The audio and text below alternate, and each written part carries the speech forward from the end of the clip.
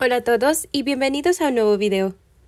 Hoy aprenderemos cómo desactivar temporalmente la cuenta de Instagram. Primero iremos a la aplicación. Una vez aquí, iremos a nuestro perfil en la parte inferior derecha.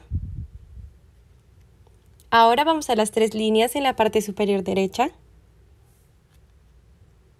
Aquí iremos a configuración. Ahora iremos a cuenta. Vamos hasta abajo y vamos a la opción que dice eliminar cuenta. Como puedes ver, hay dos opciones, desactivar cuenta o eliminar cuenta. Si desactivas tu cuenta, es completamente temporal.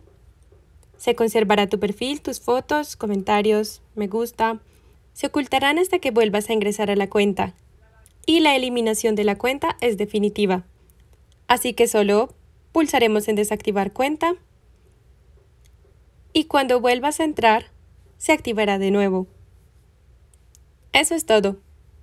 Es muy sencillo. Espero que haya sido útil para ti. Si te gustó, deja un like y suscríbete.